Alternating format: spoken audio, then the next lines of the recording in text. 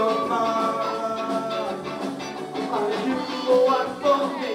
Are you one of the